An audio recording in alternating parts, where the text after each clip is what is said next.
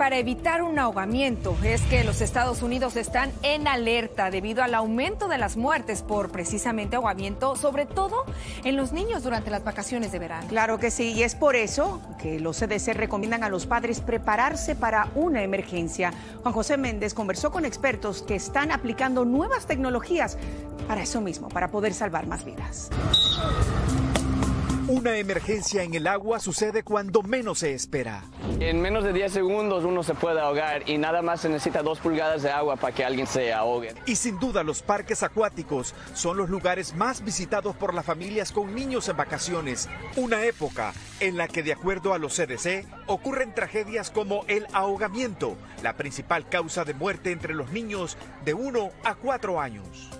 De ahí que los expertos aseguran que los padres no solo deben de saber nadar, sino también deben de estar certificados. Se pone este, estas manos, los dedos al lado. En resucitación cardiopulmonar en caso de una emergencia. Lo bueno es que ahora cuentan con la ayuda de nuevos dispositivos para salvar vidas como el LifeBack, un dispositivo portátil de rescate para succionar objetos de las vías respiratorias de niños y adultos. A principios de este mes, dos policías de la ciudad del Monte le salvaron la vida a un jovencito en su casa que se estaba ahogando con un caramelo. Los uniformados le aplicaron el LifeBack, un producto que es de libre venta en el mercado. Michael Jiménez es el director médico del Centro de Traumatología de Pomona Valley. Hoy nos compartió consejos para nadar de forma segura y cómo utilizar este aparato llamado desfibrilador externo automático cuando sea necesario.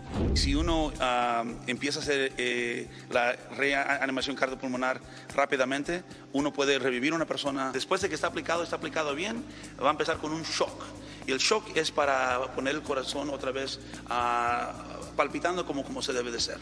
Y según los Centros de Control y Prevención de Enfermedades CDC, cada año mueren más de 4.500 personas por ahogamiento, por lo que es sumamente importante tomar en cuenta estas herramientas que pueden salvar vidas. Regreso al estudio. Ay, así mismo eso, José. Mire, muchos departamentos de policías en Estados Unidos ya tienen patrullas equipadas con el dispositivo LifeVac. Ay, qué bendición, ¿eh? La FDA incluso recomienda aprender a nosotros los papás o a cualquier persona la maniobra de Hemlich, que es un procedimiento rápido de primeros auxilios para así pues tratar la asfixia y salvar vidas.